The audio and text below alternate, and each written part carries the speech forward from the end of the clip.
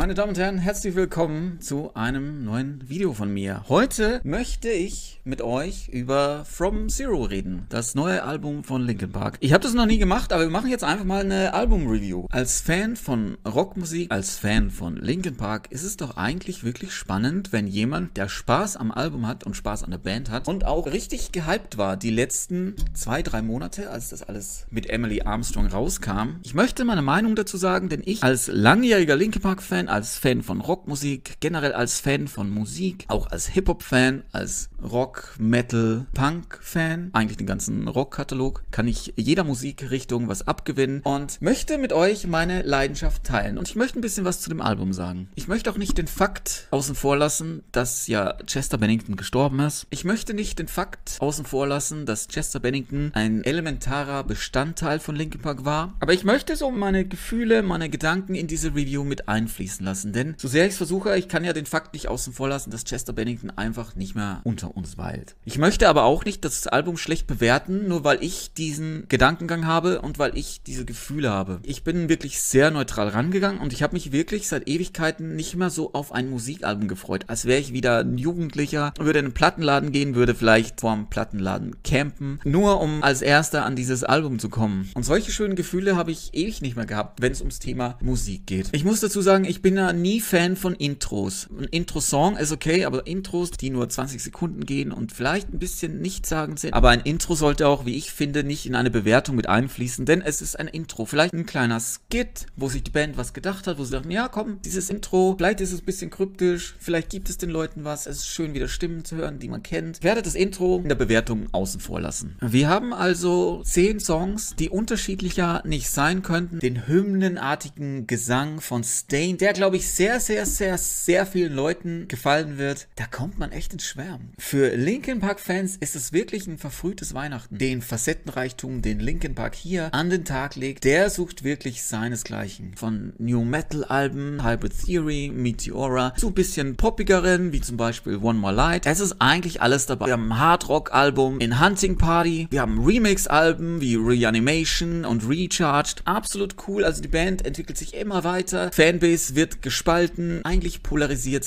von Anfang an. Muss man dazu sagen, den Punkt muss man Linkin Park geben. Aber das macht sie auch so erfolgreich. Und das macht sie auch aus. Denn wir alle entwickeln uns an gewissen Punkten im Leben einfach weiter. Ich verstehe, dass viele da nicht mitgehen. Ich verstehe aber auch, dass viele mitgehen und sagen, hey, ich lasse mich einfach drauf ein und ich lasse es auf mich zukommen. Und ich glaube, wenn man wirklich so an dieses Album rangeht, wird man einfach nicht enttäuscht. Es fühlt sich auch für mich an, als wäre dieses Album eine musikalische Reise durch jede Ära von Linkin Park. Als Fan kommst du wirklich auf deine Kosten. Als Außenstehender musst du dir das vielleicht ein paar Mal mehr anhören. Es ist jetzt auch, und ich sag's wirklich deutlich, es ist kein Hybrid Theory und es ist auch kein Meteora. Will es auch nicht sein, kann es auch gar nicht sein. Denn wenn man sich Hybrid Theory mal anguckt, man hört sich das durch und auch Meteora hat auch noch Züge davon, sind diese Alben sehr düster. Und die Düsternis oh Gott, wenn das ein Wort ist, gab es nur, weil Chester Bennington in der Band war. Kann es auch gar nicht mehr so klingen. Ich persönlich muss nicht jedes Mal ein düsteres Album haben. Es steht der Härte aber in nichts nach. Also ihr werdet da wirklich den Linkin Park Spirit spüren. Also ihr hört es und ihr werdet niemals denken und ihr werdet niemals auf die Idee kommen, ey, das ist ja gar nicht Linkin Park. Dieses Gefühl werdet ihr nicht haben bei diesem Album. Also ihr werdet als Linkin Park Fan werdet ihr hundertprozentig auf eure Kosten kommen. Ist jetzt die Frage, wie hörst du dir dieses Album denn an? The Emptiness Machine, Heavy is the Crown, Over Each Other, Casualty und jetzt Two-Faced zeigen ja die ganze Palette, die Linkin Park noch drauf hat. Und jetzt ist es jedenfalls so, dass diese Erfahrungen, die Linkin Park, Mike Shinoda gemacht haben über die Jahre, mit Produzieren von Musik, mit Produzieren für andere Künstler, diese Erfahrung spiegelt sich hier in diesem Album wieder. Also es fühlt sich an wie ein Oldschool Linkin Park Album, aber es hat völlig neue Anstriche. Man merkt es, dass Colin Britton, der Drummer, hier mitproduziert hat. Auch Mike Shinoda hat produziert und Brad Delson. Es ist absolut krass, von vorne bis hinten. Der Faktor Emily Armstrong, die jetzt neu in die Band gekommen ist, spielt hier bei dem Album eine riesengroße Rolle. Wenn man Dead Sarah kennt und die Musik gut findet, spürt man hier wirklich den Einfluss. Man spürt auch den Einfluss von Colin Britton, der der jüngste der Band ist, sehr viel frischen Wind mit reinbringt. Und ich bin der Meinung, es klingt nicht wie Hybrid Theory, es klingt auch nicht wie Meteora, aber es steht den beiden Alben in überhaupt nichts nach. Es kann mit den den beiden Alben mithalten. Man muss sich nur wirklich drauf einlassen. Man muss sich vor Augen führen, dass wir nicht mehr in den 2000ern sind. Wenn du das Album hörst, hast du einfach den Vibe. Es ist ein sehr aggressives,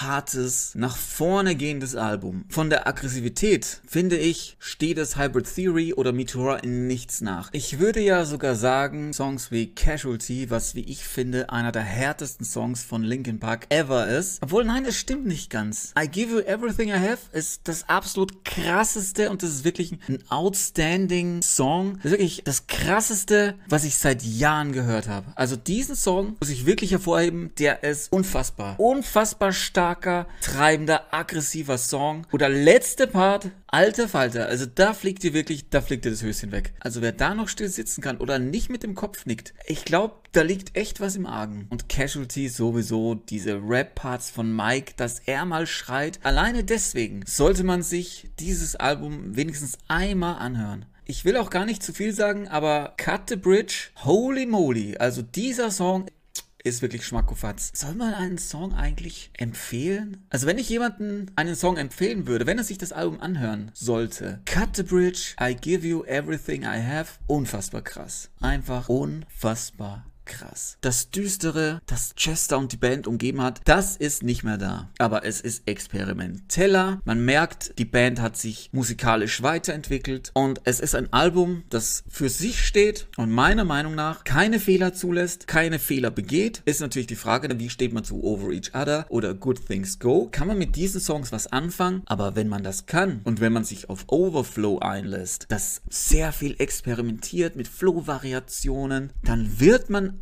absolut seinen Spaß damit haben. Also meiner Meinung nach ist dieses Album für Fans von Linkin Park, für Fans von Dead Sarah eine absolute 10 von 10. Ich kann es euch empfehlen, hört es euch an. Ich wurde nicht enttäuscht und ich hatte wirklich selten so viel Vorfreude wie bei diesem Album. Eigentlich dachte ich wirklich, ich bin so gespannt, was kommt. Ich werde hundertprozentig enttäuscht, denn meine Erwartungen, die können gar nicht erfüllt werden. Aber danke Mike, Joe, Dave, Brad, Colin, Emily. Danke Linkin Park, dass ihr mir so ein schönes Stück Kindheit und wir sind auch ein bisschen erwachsen geworden, dass ihr mir das geschenkt habt. Cooles Album, eine Reise in die Vergangenheit, aber auch eine Reise in die Zukunft und auch die Gegenwart. Es wird schön zelebriert, wird mir wieder vor Augen geführt, wie sehr ich eigentlich Linkin Park vermisst habe. Dass diese sieben Jahre, das war schon ein Leidensweg. Aber er hat sich gelohnt, den zu gehen. Danke fürs Zugucken, hat mich gefreut. Das war mein Beitrag zu From Zero. Ein ganz großes Dankeschön geht an Janana Bäre, Toni Wolf, Eiko, Rexen. Danke für eure Unterstützung. Ihr seid wirklich die Besten.